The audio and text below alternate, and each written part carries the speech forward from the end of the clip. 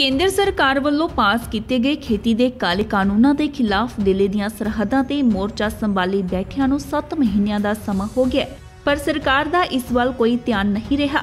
ਇਨ੍ਹਾਂ ਸ਼ਬਦਾਂ ਦਾ ਪ੍ਰਗਟਾਵਾ ਭਾਰਤੀ ਕਿਸਾਨ ਯੂਨੀਅਨ ਦੇ ਪ੍ਰਧਾਨ ਬਲਵੀਰ ਸਿੰਘ ਰਾਜੇਵਾਲ ਨੇ ਬੀਤੀ ਦਿਨੀ ਸਮਰਾਲਾ ਵਿਖੇ ਪਹੁੰਚ ਕੇ ਕੀਤਾ ਅਤੇ ਇਸ ਦੇ ਨਾਲ ਹੀ ਉਹਨਾਂ ਨੇ ਕਿਸਾਨ ਅੰਦੋਲਨ ਦੇ ਹਾਲਾਤਾਂ ਨੂੰ ਸਾਂਝਾ ਕੀਤਾ ਇਸ ਮੌਕੇ ਪੱਤਰਕਾਰਾਂ ਨਾਲ ਗੱਲਬਾਤ ਕਰਦੇ ਹੋਏ ਬਲਵੀਰ ਸਿੰਘ ਰਾਜੇਵਾਲ ਨੇ ਕਿਹਾ ਕਿ ਕਿਸਾਨ ਅੰਦੋਲਨ ਸਾਡੀ ਚੜ੍ਹਦੀ ਕਲਾ ਵਿੱਚ ਹੈ, ਕਿਉਂਕਿ ਇਹ ਅੰਦੋਲਨ ਸਭ ਧਰਮਾਂ ਦਾ ਸਾਂਝਾ ਹੈ ਅਤੇ ਹਰ ਰੋਜ਼ ਸਟੇਜ ਲੱਗਣ ਤੋਂ ਪਹਿਲਾਂ ਪਾਠ, ਗੀਤਾ ਅਤੇ ਕੁਰਾਨ ਸਮੇਤ ਸਾਰੇ ਧਰਮਾਂ ਦੀ ਪੂਜਾ ਕੀਤੀ ਜਾਂਦੀ ਹੈ।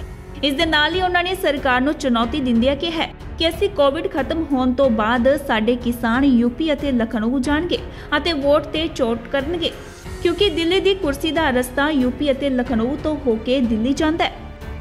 ਇਸ ਦੇ ਨਾਲ ਹੀ ਉਹਨਾਂ ਨੇ ਕੇਂਦਰ ਸਰਕਾਰ ਤੇ ਤੰਜ ਕੱਸਦੇ ਹੋਏ ਕੀ ਕਿਹਾ? ਜ਼ਰਾ ਤੁਸੀਂ ਵੀ ਸੁਣੋ। ਮੋਰਚਾ ਚੜ੍ਹਦੀ ਕਲਾ 'ਚ ਹੈ। ਹਰ ਰੋਜ਼ ਜਦੋਂ ਸਾਡਾ ਉੱਥੇ ਇੱਕ ਰੁਟੀਨ ਹੈ, ਜਦੋਂ ਸਟੇਜ ਸ਼ੁਰੂ ਹੁੰਦੀ ਹੈ ਉਹ ਤੋਂ ਪਹਿਲਾਂ ਗੁਰਬਾਣੀ ਦਾ ਪਾਠ ਹੁੰਦਾ ਹੈ। ਤੇ ਮੁਸਲਮਾਨ ਵੀਰ ਜਿਹੜੇ ਨੇ, ਉਹ ਆਪਣੀ ਕੁਰਾਨ ਦੇ ਵਿੱਚੋਂ ਆਇਤਾਂ ਪੜ੍ਹਦੇ ਨੇ, ਪਾਠ ਕਰਦੇ ਹੈ। ਇਸੇ ਤਰ੍ਹਾਂ ਗੀਤਾ ਦਾ ਪਾਠ ਹੁੰਦਾ ਸਾਰੇ ਧਰਮਾਂ ਦਾ ਜਿਹੜਾ ਉਹ ਬਰਾਬਰ ਸਤਿਕਾਰ ਕੀਤਾ ਜਾਂਦਾ। ਉਸ ਤੋਂ ਬਾਅਦ ਸਟੇਜ ਸ਼ੁਰੂ ਹੁੰਦੀ ਹੈ। ਇਸੇ ਤਰ੍ਹਾਂ ਉੱਥੇ ਮ- ਮਲੇਰਕੋਟਲੇ ਤੋਂ ਮੁਸਲਮਾਨ ਵੀਰਾਂ ਨੇ ਵੀ ਲੰਗਰ ਲਾਇਆ ਹੋਇਆ, ਹਰਿਆਣੇ ਦੇ ਹਿੰਦੂ ਵੀਰਾਂ ਨੇ ਵੀ ਲੰਗਰ ਲਾਇਆ ਹੋਇਆ ਹੈ ਇਹ ਪੰਜਾਬ ਦੇ ਸਿੱਖਾਂ ਨੇ ਵੀ ਲੰਗਰ ਲਾਇਆ ਹੋਇਆ। ਹੈ ਸਾਰੇ ਰਲ ਕੇ ਸੇਵਾ ਕਰਦੇ ਨੇ, ਇਹ ਮੋਰਚਾ ਪੂਰੀ ਚੜ੍ਹਦੀ ਕਲਾ 'ਚ ਹੈ ਔਰ ਕਿਸੇ ਚੀਜ਼ ਦੀ ਕੋਈ ਕਮੀ ਨਹੀਂ। ਹਾਂ, ਮੋਰਚੇ ਦੇ ਵਿੱਚ ਇਹ ਇੱਕ ਨਵੀਂ ਵਿਲੱਖਣ ਚੀਜ਼ ਹੈ, ਜਿੱਥੇ ਸਾਰੇ ਧਰਮਾਂ ਦਾ ਬਰਾਬਰ ਦਾ ਸਤਿਕਾਰ ਕੀਤਾ ਜਾਂਦਾ, ਕੋਈ ਧਾਰਮਿਕ ਮਤਭੇਦ, ਭੇਦ ਨਹੀਂ ਜਾਤ ਪਾਤ ਦਾ ਕੋਈ ਸਵਾਲ ਨਹੀਂ ਇਹ ਸਾਰੇ ਸਮਾਜ ਦੇ ਵਰਗ ਉੱਥੇ ਆਪਣੇ ਆਪ ਨੂੰ ਆਪਣਾ ਮਾਣ ਮਹਿਸੂਸ ਕਰਦੇ ਨੇ। ਮੈਨੂੰ ਲੱਗਦਾ ਹੈ ਵੀ ਇਹ ਜਿਹੜੀ ਗੱਲਬਾਤ ਦਾ ਦੌਰ ਬੰਦ ਹੋਇਆ, ਉਹ ਮੋਦੀ ਸਰਕਾਰ ਦਾ ਰਾਜ ਹਟ ਹੈ। ਅਦਰਵਾਈਜ਼ ਇਹਦੇ ਪਿੱਛੇ ਹੁਣ ਗੱਲਬਾਤ ਬੰਦ ਕਰਨ ਪਿੱਛੇ ਹੋਰ ਕੋਈ ਕਾਰਨ ਨਹੀਂ। ਅਸੀਂ ਚਿੱਠੀ ਵੀ ਲਿਖੀ ਕਿ ਅਸੀਂ ਗੱਲਬਾਤ ਲਈ ਤਿਆਰ ਹਾਂ ਔਰ ਪ੍ਰਧਾਨ ਮੰਤਰੀ ਕਹਿੰਦੇ ਰਹੇ ਵੀ ਮੈਂ ਇੱਕ ਕਾਲ ਦੀ ਦੂਰੀ ਤੇ ਹਾਂ। ਅਸੀਂ ਪੁੱਛਿਆ ਵੀ ਉਹ ਕਿਹਨੂੰ ਕਾਲ ਕਰੀਏ? ਕਿੱਥੋਂ ਗੱਲਬਾਤ ਸ਼ੁਰੂ ਹੋ ਸਕਦੀ ਹੈ? ਅਕਸਰ ਸਰਕਾਰਾਂ ਦੀ ਜ਼ਿੰਮੇਵਾਰੀ ਜ਼ਿਆਦਾ ਹੁੰਦੀ ਹੈ ਲੋਕਾਂ ਨਾਲੋਂ। ਦੇਸ਼, ਕਿਉਂਕਿ ਲੋਕਾਂ ਦੀ ਸਰਕਾਰ ਹੈ। ਲੋਕਾਂ ਦੇ ਚੁਣੇ ਹੋਏ ਨੁਮਾਇੰਦਿਆਂ ਦੀ ਸਰਕਾਰ ਹੈ। ਜੇ ਗੱਲਬਾਤ ਨਹੀਂ ਹੋ ਰਹੀ, ਮੈਂ ਸਮਝਦਾ ਉਹ ਲੋਕਾਂ ਪ੍ਰਤੀ ਆਪਣੀ ਜ਼ਿੰਮੇਵਾਰੀ ਨਹੀਂ ਨਿਭਾ ਰਹੇ। ਆਪਣੀ ਅੜੀ ਪੁਗਾ ਰਹੇ ਨੇ, ਜਿੱਦ ਪੁਗਾ ਰਹੇ ਨੇ। ਤੇ ਇਸ ਤਰ੍ਹਾਂ ਦੀਆਂ ਐਜੀਟੇਸ਼ਨਾਂ 'ਚ ਜਿਹੜੀ, ਜਿਹੜੇ ਜਨ ਅੰਦੋਲਨ ਬਣ ਜਾਣ ਜਿਹਦੇ 'ਚ ਸਾਰਾ ਦੇਸ਼ ਉਹਦੀ ਖੁੱਲ੍ਹ ਕੇ ਸ਼ਮੂਲੀਅਤ ਸਾਹਮਣੇ ਆ ਜਾਏ। ਇਹੋ ਜਿਹੇ ਜਨ ਅੰਦੋਲਨਾਂ ਦਾ ਜੇ, ਅ, ਅੱਖੜਪੁਣੇ ਨਾਲ ਜਾਂ ਰਾਜ ਹੱਟ ਦੇ ਵਿੱਚ ਵਿਰੋਧ ਕਰੋ ਪੱਲੇ ਤੁਹਾਡੇ ਲੌਜੀਕ ਕੋਈ ਹੋਵੇ ਨਾ ਤੇ ਇਹ ਬੜਾ ਦੇਸ਼ ਲਈ ਮਾੜਾ ਹੁੰਦਾ ਹੈ।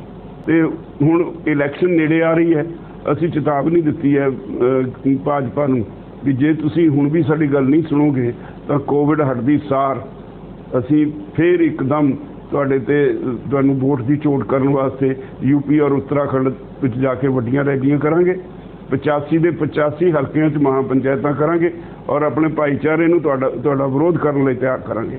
ਦੇਖੋ, ਗੱਲ ਸਮਝੋ, ਸਾਡੀ ਤਾਂ ਨਾ ਜਿਵੇਂ ਮੱਛੀ ਦੀ ਅੱਖ ਅੱਖ ਤੇ ਦੇਖ ਕੇ ਆਪਣੇ ਨਿਸ਼ਾਨੇ ਵੱਲ ਸਾਡਾ ਸਾਰਾ ਜਿਹੜਾ ਧਿਆਨ ਉਹ ਕੇਂਦਰਿਤ ਹੈ। ਅਸੀਂ ਪੂਰੀ ਕਨਸੈਂਟਰੇਸ਼ਨ ਆਪਣੀ ਮੋਰਚੇ ਤੇ ਲਾਈ ਹੋਈ ਹੈ ਹਾਲੇ ਇਸ ਪਾਸੇ ਕਿਸੇ ਨੇ ਕਦੀ ਸੋਚਿਆ ਨਹੀਂ। ਕਿ ਹੁਣ ਕੋਵਿਡ ਹਟ ਹਟ ਜਾਏ, ਉਹ ਤਾਂ ਅਸੀਂ ਤੁਰੰਤ ਸ਼ੁਰੂ ਕਰ ਦੇਣਾ ਯੂਪੀ ਦਾ। ਯੂਪੀ ਔਰ ਉੱਤਰਾਖੰਡ 85 ਸੀਟਾਂ ਨੇ ਕਿਉਂਕਿ ਅ, ਇਹ ਕਿਹਾ ਜਾਂਦਾ ਹੈ ਵੀ ਅਮ, ਦ- ਦਿੱਲੀ ਦੀ ਪ੍ਰਧਾਨ ਮੰਤਰੀ ਦੀ ਕੁਰਸੀ ਵੱਲ ਨੂੰ ਰਸਤਾ ਲਖਨਊ ਤੋਂ ਹੋ ਕੇ ਜਾਂਦਾ ਹੈ ਅਸੀਂ ਉਹ ਰਾਹ ਘੇਰਨਾ ਹੈ हमारा काम ही हमारा चैलेंज निराश लोगों के लिए आशा की एक किरण मियाँ कमाल साहिब 99% लोगों को 100% लाभ 10 मिनट में समाधान गारंटी के साथ घर कारोबार में बरकत न होना गृह कलेश जादू टोना किया कराया बीमारी में दवा करना लगना पशु फसल नुकसान विदेश यात्रा, शादी में रुकावट, मनचाहा प्यार सौतन दुश्मन को तड़पता देखे। संतानहीनता पति पत्नी में अनबन, वशीकरण मुझ करने के माहिर। जो काम किसी से ना हुआ हो तो एक बार हमें आजमा कर देखें। हमसे पहले काम करने वाले को मुँह मांगा इनाम। प्यार में धोखा खाए प्रेमी प्रेमिका ज़रूर मिले। आपका प्यार टूटने नहीं दूँगा माई प्रॉमिस मियाँ Kamal Sahib, Ludhiana. Mobile nine eight seven eight six, eight double seven eight six.